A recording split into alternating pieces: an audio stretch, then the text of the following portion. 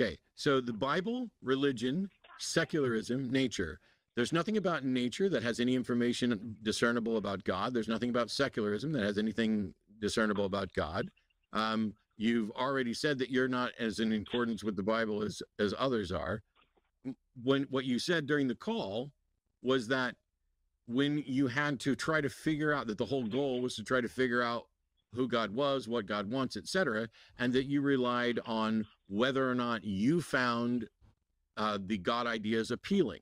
That is, by definition, you being the foundation of determination. Your mind determines which things are of God and which things are not of God. Uh, determining is a is not the word I would use. It's the word I use the lid on. Okay, it's accurate. this is the official. when- when there's a position, I would just when there's a position and somebody says, How do you tell whether something in the Bible is actually from God or if it's something that the Hebrews got wrong? Your answer was that you rely on whether or not you're willing to accept it, that your mind is the criteria that you use to determine whether or not the Bible's view on slavery is the ancient Hebrews getting it wrong or God. And you don't think it's God.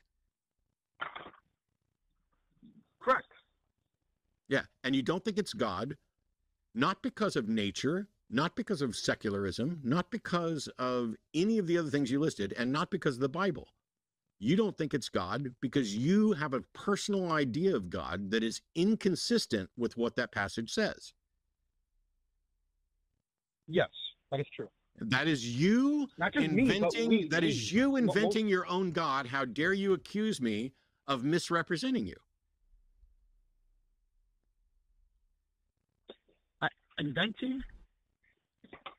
Um, I, I think that's a leap. I, I think that's not it. I don't think I don't inventing. care what you think. I. I don't care what you think. I didn't out. care what you thought about God. I don't care what you think about my assessment of you.